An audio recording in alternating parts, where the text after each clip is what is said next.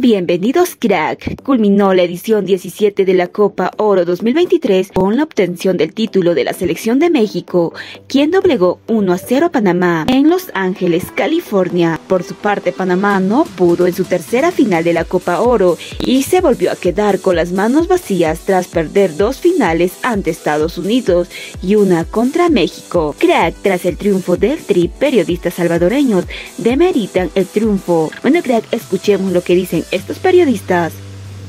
Mira, presta esa selección ¿Mm? mexicana ¿Qué? que salió campeona. ¿Qué?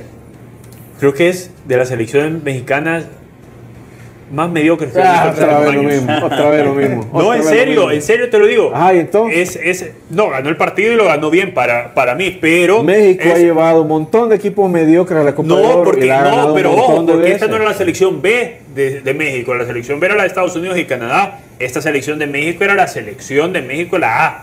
Tenía a Santi Jiménez, tenía a Edson, tenía a Ah, Orbelín, tenía a Antuna, tenía todos los Paco que Memo. tienen. Sí, Paco Memo, tenía todo.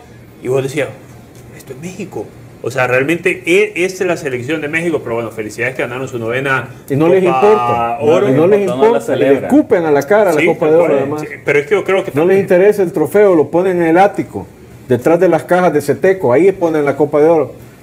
Y No, pero ganando, no, es una vergüenza, la pero para el resto de la equipos de la, la CONCACAF. no, pero es que ¿Quién para la celebró, no, viejo? la no la he celebró- escuchado. La celebró algunos jugadores, la celebraron. Ah, los Hubo jugadores ni- cancha, modo, sí. pues. Luego, luego Jimmy. Pero los Diego no los ha escuchado a los Sí, periodistas mexicanos sí, diciendo, que- pero, ¿sabes por qué le restan mérito? Le restan mérito, mérito porque esta Copa Oro no fue ni Estados Unidos ni Canadá. Siempre le En restan mérito, Por Rodrigo. eso es que le le siempre le restan más mérito. Aparte que ya sabemos que México quisiera competir en, en Conmebol. Todos Pero- quisiéramos que compitan. ver, como pero más allá, pero más allá de lo de México, Mira qué lindo, Yo quiero- un poema.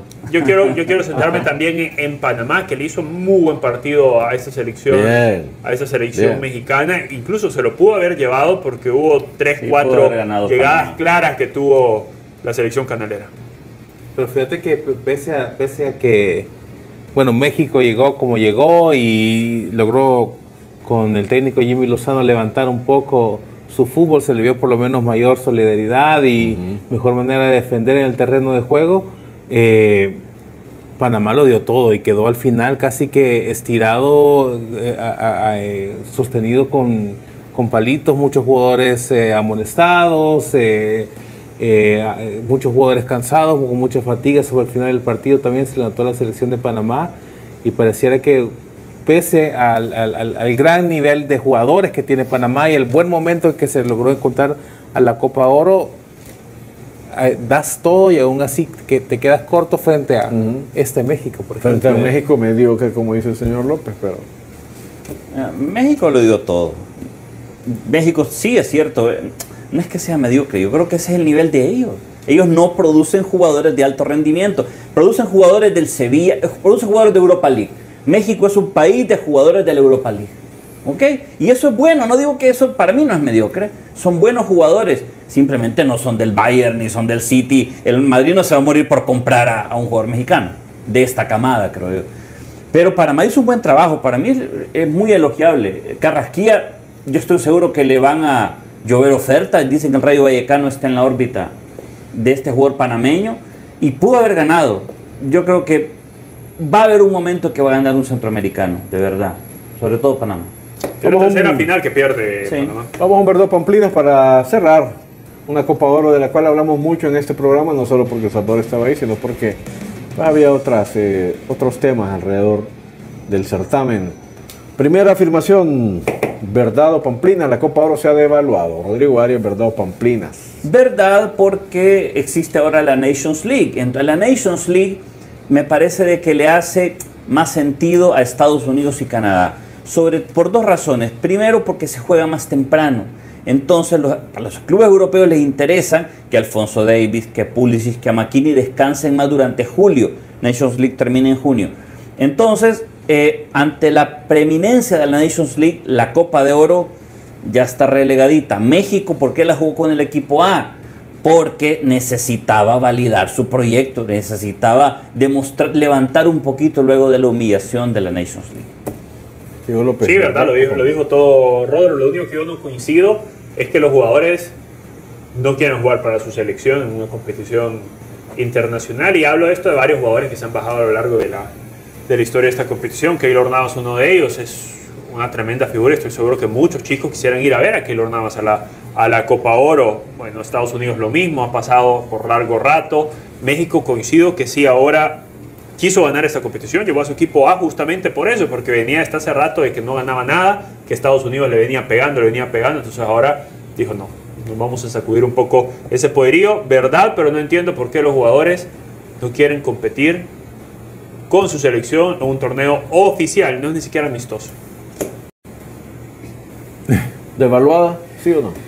Eh, yo creo que siempre ha sido eh, igual la, la, la, Copa Oro. Yo creo que de, de repente hay, hay, hay, una Copa eh, en la que van las selecciones ya con sus procesos eliminatorios eh, encaminados y parece haber más competición, pero me parece que hay, han habido Copas Oros, por ejemplo, en las que el, Estados Unidos la juega la primera ronda con un equipo B uh -huh. o C y después traen refuerzos con de cuatro o cinco refuerzos que te juegan dos partidos y ganan el torneo, por ejemplo. Es cierto, el eh, único torneo del mundo en el que pasa eso.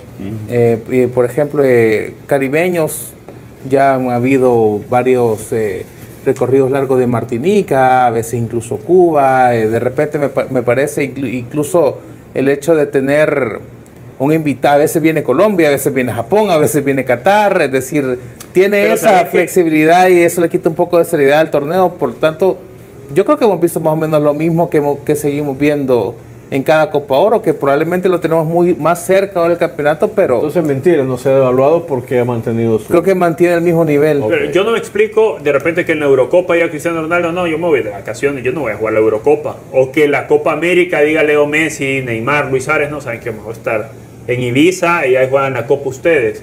Y no entiendo por qué eso sí pasa en CONCACAF. Entiendo lo del calendario, lo hemos platicado con Rodro afuera, pero, pero ¿por qué el jugador no le apetece venir a jugar una competición oficial con su selección? Se juega cada dos años. Yo creo que si, si jugara cada cuatro, Tal si vez. hubiera, no sé. Si la bolsa de premios fuese más atractiva para Sí. los jugadores. Mm.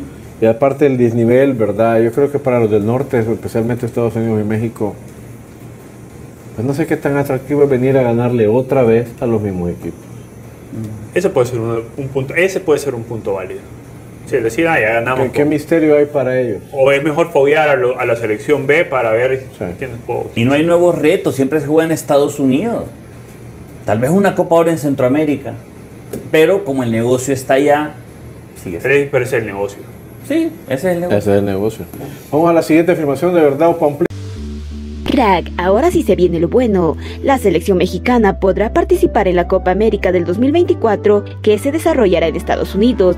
Así lo confirmó la Comebol a través de un comunicado. México era uno de los invitados frecuentes de la Copa América desde 1993, pero en el 2016 dejó de participar. Y aunque podría parecer increíble, el Tri quedó subcampeón en dos ocasiones tras coronarse campeón de la Copa Oro. El Tri podría dar pelea. Bueno amigos, hasta aquí el video. Comenta que te estamos leyendo y además suscríbete. Hasta la próxima.